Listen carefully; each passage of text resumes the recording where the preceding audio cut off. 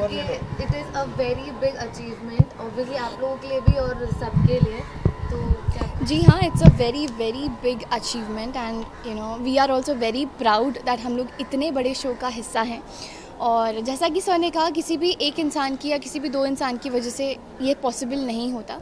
ये team work है और वो टीम वर्क अगर वो टीम आज आज तक जुड़ी हुई है नौ दस सालों से वो टीम जुड़ी हुई है इस शो से तो वो इसलिए क्योंकि राजन सर सबको इतने प्यार से यू you नो know, सब लोग इतने प्यार से एक साथ रहते हैं। अभी आप अपने लास्ट टाइम भी देखा होगा जब हवन हुआ था ऐसा ही हुआ था और यू you नो know, सबको गिफ्ट्स दिए गए थे। सब सबके साथ यू नो मिल के बैठा था खेले थे सब लोग। तो वो सब यहाँ पे यानी ऊपर ऊपर ऊंच नीच नहीं होती। आई थिंक वो सबसे बड़ी बात है कि आज तक सब लोग एक साथ जुड़े हुए हैं एंड आई तो want to thank Rajan sir कि उन्होंने इतने बड़े शो में यू you नो know, हमें हमें काम करने का मौका दिया और ये शो ने अभी 2500 एपिसोड कंप्लीट किए हैं। जैसे कि सर ने कहा हम और 2500 कंप्लीट करेंगे और ऐसा ही हवन फिर से करेंगे। थू थू थू थू थू।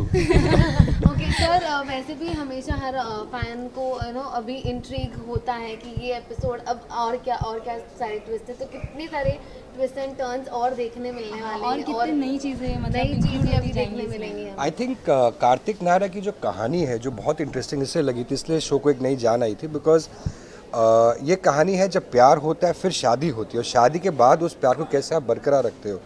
तो आई थिंक कार्तिक नायरा की, कायरा की जो एक एक बहुत अच्छी खासियत जो है कि ये अपना रिश्ता, अपना प्यार भी रखते हैं, बट बाकी दूसरे परिवार को भी साथ में लेके चलते हैं। तो 2017 की एक लड़की और एक लड़का जो आज की यूथ है, वो कैसे एक परिवार को लेके चलते हैं, अपना स्पेस भी बनाते हैं। तो ये बहुत ब्यूटीफुल जर्नी दोनों की, ये ऑडियंस से बहुत कनेक्ट हुई। मैं खुद चाहता हूँ उनको अपना बहुत स्पेस मिले बिकॉज़ ये अपने भाई, बहन, चाचा, चाची सबके बारे में सोचते रहते हैं। इसलिए आगे हमारा जो एक नया शो का फ़ेज़ आने वाला है, बहुत इंटरेस्टिंग फ़ेज़ है। हमारी creative writers channel we all are very excited जहाँ पर हम कार्तिक नायरा की एक बहुत ब्यूटीफुल जर्नी देखेंगे वे दे विल अंडरस्टैंड कि जितना दूसरों खुश करना ज़रूरी that is equally important to keep each other happy so ये इनकी ब्यूटीफुल जर्नी होगी और आई कान डिस्क्लोज बट हम एक बहुत खूबसूरत जगह जाने वाले हैं। बिकॉज़ uh, हमने रियलाइज़ करा कि कार्तिक नायरा का तो हनीमून हुआ ही नहीं। बेचारे सबका हनीमून अरेंज करते रहते हैं इनका खुद का हनीमून नहीं हुआ। So we are going to go hopefully things go well to a beautiful destination and we will relive the Switzerland time and I am very excited about the next month when we are planning something amazing with Karthik and Naira.